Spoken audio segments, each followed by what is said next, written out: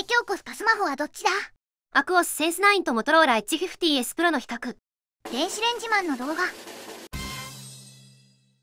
革版が積んだもんなのだ。四国メタンですが。例によってアクオスセンス9と他の似たような価格帯のスマホの比較動画なわけですが今回のこいつはかなりの強敵だと思うのだ。モトローラ H50S Pro ね。それにしても名前が長い。これ音声変換の時に区切りをいじらないと単語ごとに間が発生して読み上げが遅くなるのだ。まあそんなこいつなんだけど通常版が6万円台とかなのに対して3万円台半ばくらいで未使用品を買えちゃうんだよね。メモリ容量が 8GB に減ってるとはいえそれでも破格を極めている印象だわ。というわけで今回はこいつとアクオスセンス9でどっちがおすすめなんだろう的な動画を作ってみるのだ。正直普通にモトローラ H50S Pro なんじゃない？まあ単純に性能と価格のバランスを見ればそうだねとはいえセンス9にも色々魅力的な部分はあるということで比較するから機種選びの参考にしてくれ。というわけで本体のデザインや性能を比較してみようかね。本体についてはデザインの傾向が全く異なるのだ。アクオスセンス9はまあ昔ながらのスマホって感じ。50S プロは防費的なやつ。アルミボディのセンス9と合皮のモトローラ甲乙つけがたい魅力はあると思うのだカメラ部分はアクオスはなんかここだけロボット兵みたいになっててモトローラはカーボンフリーズされたハンソロみたいな感じ。どちらかというと格好良いのはモトローラの方だとは思うわね。画面はどちらも最大輝度だと明るくて発色も良いけど印象としてはアクオスのがなんか表示の綺麗さが上な気がする。説明しづらいんだけど色合いに穏やかさがある気がするわね。一方で大画面なのはモトローラ H50S Pro の方。ただしエッジディスプレイなので端の方が暗く見えるのと保護フィルムの選択肢が少ないことが難点。ケースとフィルムも干渉しやすいのだ。センス9のケースやフィルムガラスはどこでも売ってるし画面が平らだから貼りにくいとかサイズが合わないみたいなことも少ないかと。PDA 工房の黒影はかなりおすすめ。ある程度反射を抑えつつ表示は光沢フィルムと同等。そんなわけでデザインについては好みで選んでくれって感じにはなるかな。正直総合的な形状の使いやすさではセンス9の方が上な印象かしら。アクセサリーも買いやすいしただしモトローラの方は3万円台で未使用品を買えるレベルで中古市場で安いのだ。それを考えるとそもそもフィルムなんかは貼らなくてもいいと思える人もいるかもね。だけどこいつってアクオスセンス系と比べると頑丈さが売りになってないし保護しないのはちょっと心配はあるわ。3万円ってスマホとしては安いけど出費としては大きいわよ。ごもっともなのだ。まあ大画面ならモトローラ頑丈さアクセサリーの充実ならアクオスを検討してみてくれそして性能について今回は動画編集時点で最新のバージョンの暗筒で改めて計測したのだ。かなり数値に開きがあるわね。GPU 部分なんてモトローラの方がスコアが2倍くらいあるよ。この数値の差はどの辺に出てくるわけ？単純な普段使いでの動作の違いはまあほぼないと思うのだ。ちなみにどちらもメモリ 8GB モデルでブラウザや SNS 動画アプリみたいな一般的なものについては動作に差はないと思うのだ。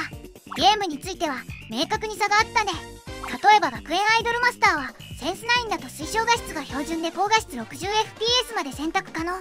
H50S プロは推奨が高画質で最高画質 60fps まで選べてしまうのだ。まあさすがに最高設定だとちょっとカクカクするけどね。原神や全熱ゾーンゼロなんかも含めて明らかにゲームは H50S プロの方が有利なのだ。ゲームをたくさんする人はセンス9よりこっちの方が確実に満足度が高いわねマイクロ SD 非対応とはいい容量が標準で 256GB あるのでまあゲームを何本か入れてもある程度の余裕はあるかと。ゲーム性能に明確な差があると選ぶ上での判断もしやすいかしら。値段が安い上で明らかに選べる画質にも差があるから現状ゲームを3万円台で快適に遊ぶなら H50S Pro が最強なのだ。これより上を求めるなら POCO F6 Pro か。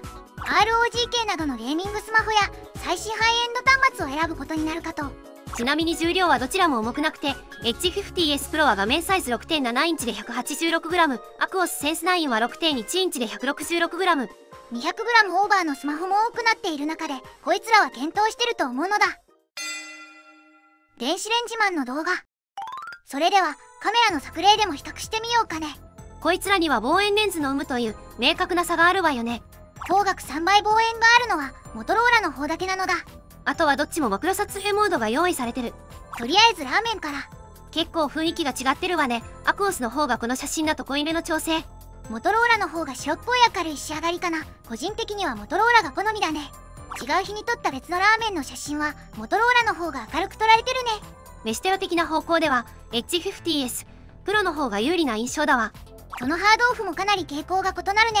どちらも南海色が極端な方向に補正かかってるような印象があるかしらこの中間くらいがベストではあるかな。マーモトローラの方がいい塩梅な気はするのだ。秋も深まってるというか多分この動画の公開日って12月になってるからもう冬か。H50S プロの方がなんというか風情を感じる色になってる印象ではある。ズーム写真も見てみようか。ここから寄っていくわけね。この時点だとちょっと sense9は黄色っぽいのが印象的。モトローラの方が自然な気がするわ。最大のズーム時はここまで差があるのだ。望遠レンズがあるモトローラの方はやっぱり強いねモトローラの方が半額くらいで買えちゃうことも考えるとなかなか恐ろしいわ。なるほどな。夜景写真を明るく撮るパワーもモトローラはそういうのだ。もはやモトローラの方は昼間の写真家と思うレベルで明るくなってるわね。アクオスはちゃんと夜っぽさが大いに残ってる上で自然に明るくしてるような感覚かな。ここは好みが分かれるところなんじゃないかな。投稿者的にはアクオスの方でも十分かなと。夜っぽさはアクオスくらい維持されてて問題ないとは思うわね。夜の写真だし。室内の写真どっちも近くのもののピント合わせはメインレンズだと苦手かな？そしてメインレンズはかなりボケるのとモトローラは中白色の LED 電球当たってる状況でもだいぶ鮮やかな色合いになってるわね。アクオスも昔よりはかなり良くなってるとは思うのだ。マクロモードはアクオスだとかなりいまいち。ピントも全然合わんのだ。マクロにしてんのに全然接写できないんだが。恐竜系のフィギュアは顔が細長いのでうまく認識してくれないのかも。というわけで動画を最後に比べてみようかね。これは同じ日の撮影アクオスは色が濃くてやや暗めモトローラは明るめって感じかしら。映像の動きの安定感はモトローラが少し勝ってるかな。まあでも足場が悪い場所で歩きながら撮影してこれだけできてればどっちも良いとは思う。一定の水準は満たせている上でより良いのはモトローラかな。ズームも強いよね。夜間撮影には結構な差があるね。夜間の動画撮影はアクオスはどうしても弱い印象だわ。モトローラの方はこの価格帯のスマホとしてはかなり明るいのよねこれ肉眼で見た風景よりめっちゃ明るいからね。本来はほぼ暗闇なのだ。アクオスはちょっと暗い場所で動きながら撮るとぐちゃっとした映像になりがち。まあそもそもこんな暗闇で歩きながら撮影する機会ってあんまりなくはあるわよね。祭りでももっと照明焚かれてるだろうし。そんなわけでねさすがにこの2端末の比較だとモトローラ H50S プロが強いのだ。もともと結構高めの価格帯の機種のメモリだけちょっと減らしたバンカツアクオスセンス9はやや高めの価格設定なのでこいつらを比べると H50S プロのお得さが凄まじく見えるわ。ただマエッジディスプレイだったりアクセサリー少なかったりマイクロ SD 非対応だったりと弱点もあるので総合的に判断してどちらがベストかを考えてみてくれ。投稿者は割とセンス9の方が好みなんだよね。H50S プロは指紋センサーが下に寄りすぎなのとかちょっと苦手だったりするのだ。まあ意識して下の方を持つことで割と慣れてはくるけどねこのチャンネルではガジェットのレビューをいろいろやってるのでチャンネル登録とか評価とかよろしくなのだ。レビューしてほしいガジェットの案やコメントもお気軽にどうぞ。紹介した商品のリンクは基本的に概要欄にあります。ブログやノートサブチャンネル SNS もあるので興味あれば概要欄からチェックしてくれ。ではまた見てくれよな。また見てくれよな